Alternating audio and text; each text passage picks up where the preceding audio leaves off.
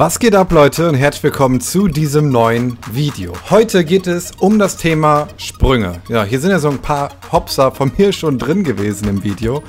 Aber ich möchte mit euch so ein bisschen über das Thema Sprünge an sich sprechen. Das ist ja so eine Sache mit den Sprüngen. Auf der einen Seite denkt man sich, wow, das sieht alles immer so einfach aus. Auf der anderen Seite ist es aber so, wenn man dann vor dem Sprung steht oder das anfährt, denkt man sich, oh mein Gott, das ist niemals möglich. Ich möchte heute mit euch so ein bisschen darüber sprechen, wie ich das Ganze so angehe und wie ich das Ganze so sehe. Das Thema Sprünge ist beim Mountainbiken so eine Sache. Ich finde auf der einen Seite ist es etwas super, super Cooles, macht mega Spaß und es ist immer so eine kleine Herausforderung und ich finde, das macht auch so ein bisschen das Ganze aus. Auf der anderen Seite bedarf es einfach auch super viel Mut und es ist auch ein gewisses Risiko mit dabei.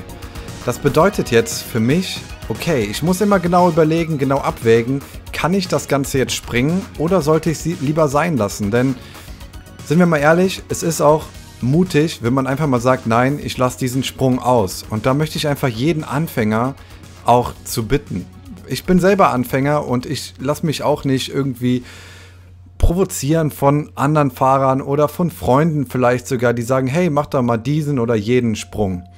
Du selber musst für dich entscheiden, ob das dein Level ist, ob das für dich passt und ob du dich wohl damit fühlst. Wenn du dich damit nicht wohl fühlst, dann lass den Sprung einfach lieber aus. Wenn du aber denkst, wow, ich kann den machen, ich kann mir das richtig gut vorstellen, dass ich es schaffen kann, dann probier es einfach. Ich denke, wir alle haben immer mal wieder Herausforderungen im Leben und wir müssen die eine oder andere Herausforderung immer wieder meistern.